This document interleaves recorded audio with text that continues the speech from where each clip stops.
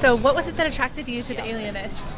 What was it that attracted me to The Alienist? Well, a lot of things. I mean, I was I read the first three episodes of the script.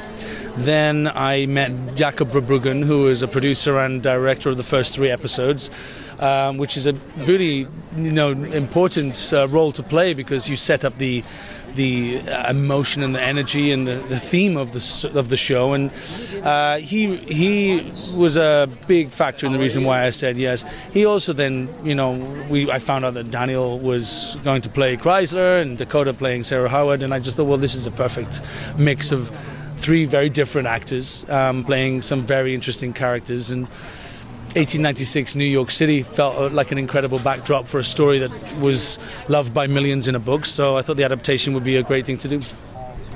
Um, tell us more about your character and your involvement in the central murder mystery. Well, he's um, he is an illustrator for the New York Times. He's a highly functioning alcoholic. He's been jilted by his lover, his fiance, for another guy, and he's he's struggling very hard to deal with it. He drinks an awful lot. He frequents brothels. He beats himself up emotionally about the situation. he lost his brother at an early age, which is another huge issue that he's struggling to cope with.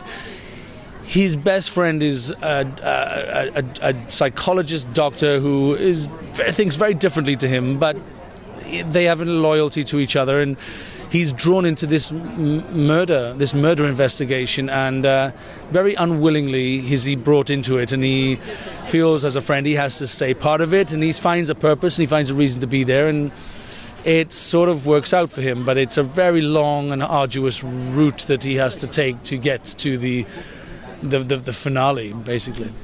Um, how was your experience filming with Dakota and Daniel and working in Budapest? Great. I mean, they're wonderful. I mean, like I said, they were part of, one of the main reasons why I said yes to doing the show, and um, they're they're both very unique and very different, and that's why I liked being part of this trio because they're they are they're very special, and that the choice, that body of work speaks for itself, and Budapest. I'd already shot a movie in Budapest, loved it, and really enjoyed the city. And uh, so I was happy to go back. We were lucky because we were there during the summer, so the weather was nice. Although we were in tweed suits and I was absolutely boiling most of the time, um, it was a perfect backdrop. It's a it's a historically almost perfect city to shoot a movie about a, a, show about New York City in 1896. The architecture is very similar.